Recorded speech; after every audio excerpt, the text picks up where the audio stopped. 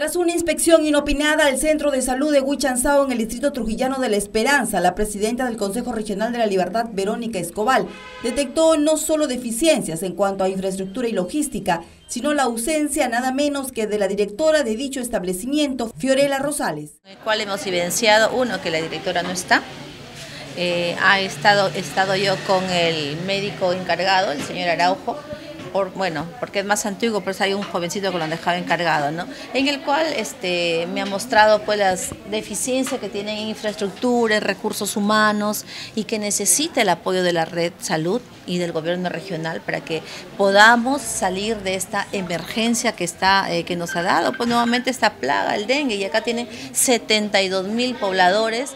En esta visita la funcionaria comprobó que urge más personal, así como mejoras en las condiciones de atención pues los ambientes donde se atienden a los pacientes con dengue está cerca a los de TBC, poniendo en riesgo la salud de los usuarios que llegan a diario a este establecimiento.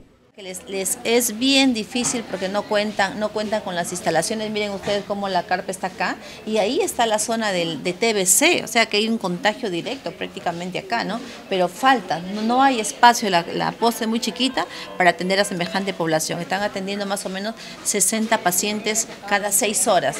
Imagínense, lo multiplicamos con las 24 horas que ellos atienden.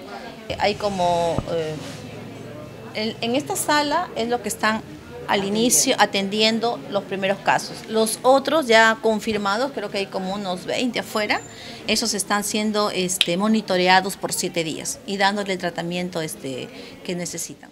La consejera delegada espera que el gobierno regional destine mayor personal médico para una mejor atención en este sector que cuenta con 70 mil pobladores y a diario se atiende a un promedio de 60 pacientes.